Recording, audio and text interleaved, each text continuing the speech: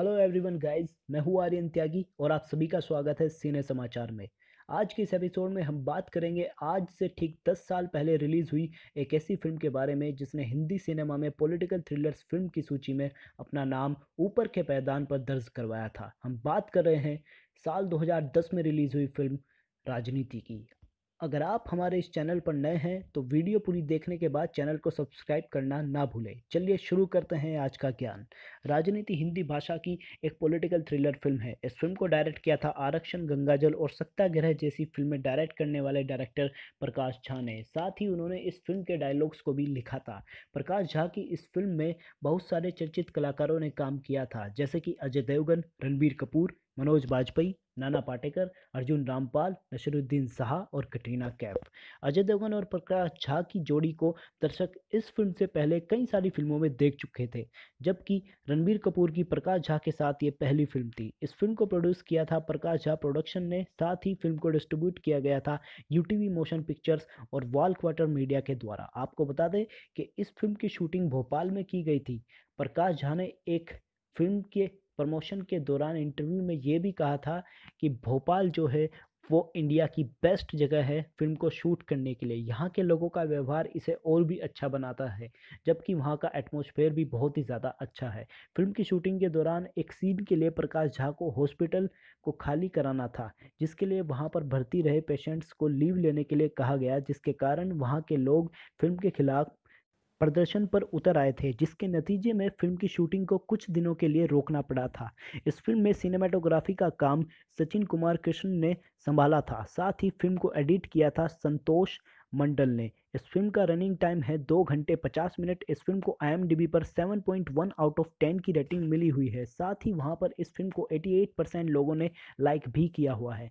Film की story की बात करें तो फ़िल्म की कहानी एक राजनीतिक परिवार के इर्द गिर्द घूमती हुई, समाज में और भारत की राजनीति में फैली हुई बुराइयों पर गहरी चोट करती है। फ़िल्म के अंदर दिखाए गए पात्र भारत की एंशियंट हिस्ट्री के महाभारत से मेल खाते हैं। फ़िल्म के अंदर नाना पाटेकर के द्वारा निभाया गया पात्र भगवान श्री कृष्णा से इंस्पायर्ड था तो अजय देवगन का पात्र कर्ण से प्रेरित है। फ़िल्म के अंदर अन्य पात्र जैसे रणबीर कपूर का पात्र अर्जुन से, अर्जुन रामपाल का पात्र भीम से और मनोज बाजपेयी का पात्र दुर्योधन से प्रेरित है। फ़िल्म के अंदर अजय देवगन और मनोज बाजपेयी के पात्रों में वैसी ही मित्रता दिखाई गई है, जैसे महाभारत काल में दुर्योधन और कर्ण के बीच में थी। फ़िल्म के अंदर कटरीना कैफ द्वारा निभाया गया करेक्टर इंदु द्रौपदी से इंस्पायर्ड था। फ़िल्म के अंदर नसरुद्दीन शाह ने भी एक गेस्ट अपीयरेंस किया था। सन 2010 में इस फ़िल्म की रिलीज़ से ठीक पहले बॉलीवुड इंडस्ट्री ने काइट्स जैसी बड़ी फ्लॉप फ़िल्म दी थी। साथ ही राजनीति भी एक हाई बजट की मूवी थी। इंडस्ट्री को इस फ़िल्म से उम्मीदें तो थी, पर साथ ही उन्हें डर भी सता रहा था कि ये फ़िल्म इसके अलग कॉन्सेप्ट के कारण बॉक्स ऑफ़िस पर चल पाएगी या नहीं। चार जून दो हज़ार दस को जब ये फ़िल्म बॉक्स ऑफ़िस पर रिलीज़ हुई तो फ़िल्म ने एक बम्पर ओपनिंग के साथ शुरुआत की। फ़िल्म ने रिलीज़ के पहले दिन पर 10 करोड़ 33 लाख की कमाई करते हुए सेकंड हाईएस्ट ओपनिंग डे का रिकॉर्ड बनाया था। इस फ़िल्म से आगे सिर्फ़ Aamir Khan starrer film three idiots थी। फ़िल्म ने अपने पहले वीकेंड में 33 करोड़ बयालीस लाख की कमाई करते हुए highest opening weekend in first half of the year का रिकॉर्ड अपने नाम किया था। ये रिकॉर्ड इससे पहले फ़िल्म हाउसफुल के नाम पर दर्ज था। फ़िल्म ने अपने पहले वीक में तिरपन दशमलव सात सात करोड़ की कमाई करते हुए highest week one for a first half release का रिकॉर्ड भी अपने नाम पर कर लिया था। यह रिकॉर्ड भी इस फ़िल्म से पहले फ़िल्म हाउसफुल के नाम पर दर्ज था। फ़िल्म ने भारत के अंदर बानवा दशमलव तीन सात करोड़ का नेट कलेक्शन किया था, जिसमें से डिस्ट्रीब्यूटर शेयर गया था अड़तालीस दशमलव सात दो करोड़ रुपये फ़िल्म के वर्ल्ड वाइड कलेक्शन की बात करें तो फ़िल्म का वर्ल्ड वाइड कलेक्शन था एक सौ पैंतालीस करोड़ पचास लाख रुपये इस फ़िल्म का बजट था इकसठ करोड़ रुपये और यह फ़िल्म एक सुपर हिट फ़िल्म साबित हुई थी। इस फ़िल्म ने टिकट खिड़की के ऊपर एक करोड़ तिरपन लाख छप्पन हज़ार चार सौ टिकट सेल किए थे। ऑस्ट्रेलिया के अंदर और न्यूजीलैंड के अंदर इस फ़िल्म ने थ्री इडियट्स के द्वारा स्थापित ओपनिंग वीकेंड के रिकॉर्ड को तोड़ दिया था। वहीं यूएस के अंदर भी फ़िल्म ने अच्छा बिज़नेस किया था और लिमिटेड रिलीज़ फ़िल्म में यह फ़िल्म सबसे आगे रही थी। वहीं ओवरऑल रिलीज़ की बात करें तो यह फ़िल्म अपने पहले वीकेंड पर ग्यारहवें नंबर पर रही थी। फ़िल्म यूएस बॉक्स ऑफ़िस पर लिमिटेड रिलीज़ वाली फ़िल्मों में भारत की तरफ़ से तीसरी फ़िल्म साबित हुई थी। इससे आगे सिर्फ़ माय नेम इज़ खान और काइट्स ही थी। इस फ़िल्म को भारत के क्रिटिक्स ने खूब सराहा था और इस फ़िल्म को हिंदुस्तान टाइम्स ने three out of five Times of India ने फोर आउट ऑफ़ फाइव तथा एनडीटीवी की अनुपमा चोपड़ा ने थ्री आउट ऑफ़ फाइव की रेटिंग्स दी थी। फ़िल्म के सभी कलाकारों के अभिनय के साथ साथ प्रकाश झा के डायरेक्शन की भी खूब तारीफ़ हुई थी। फ़िल्म के अंदर अर्जुन रामपाल और मनोज बाजपेयी ने एक विशेष बॉन्ड शेयर किया था। ऐसा पहली बार था जब अभिनेता अर्जुन रामपाल किसी फ़िल्म में अलग तरह के किरदार निभा रहे थे। इस रोल के लिए उनकी खासी चर्चा हुई थी।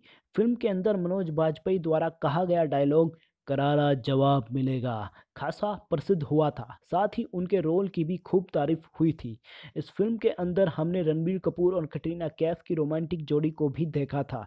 लोग इससे पहले इन दोनों को फ़िल्म अजब प्रेम की गजब कहानी में देख चुके थे। इस फ़िल्म की शूटिंग के दौरान इन दोनों के अफेयर्स की चर्चाएँ खूब उड़ रही थी।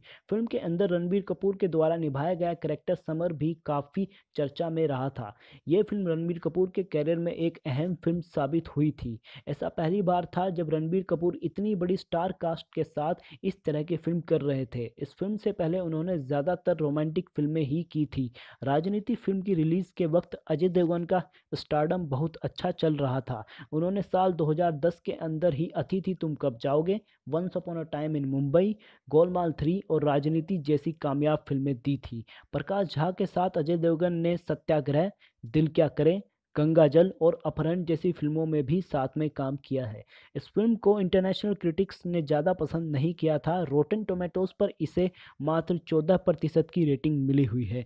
फ़िल्म के अंदर म्यूज़िक दिया था प्रीतम, आदेश श्रीवास्तव, शांतनु मोइत्रा और वायने शाप ने फ़िल्म का एल्बम 14 मई 2010 को रिलीज़ किया गया था, जिसका लेबल है सोनी म्यूज़िक इंडिया के पास। इस फ़िल्म के लिए लिरिक्स लिखे थे इरशाद कामिल, गुलजार, समीर और स्वानंद किरकिरे ने। फ़िल्म के एल्बम में पाँच ओरिजिनल और चार रिमिक्स सॉन्ग थे। इस फ़िल्म के जो पॉपुलर गाने थे, वो थे मोरा पिया भीगी सी भागी सी और इश्क बरसे। फ़िल्म को मिले अवार्ड्स की बात करें तो स्टार स्किन अवार्ड्स के अंदर best actress in a popular choice का अवार्ड कटरीना कैफ को दिया गया था। तो बेस्ट स्क्रीन प्ले के लिए प्रकाश झा और अंजुम राजबाली को अवार्ड दिया गया था। बेस्ट बैकग्राउंड म्यूज़िक के लिए वायना शाप को भी अवार्ड मिला था। जी सिने और अप्सरा अवार्ड के अंदर बेस्ट सपोर्टिंग एक्टर का अवार्ड अर्जुन रामपाल को दिया गया था।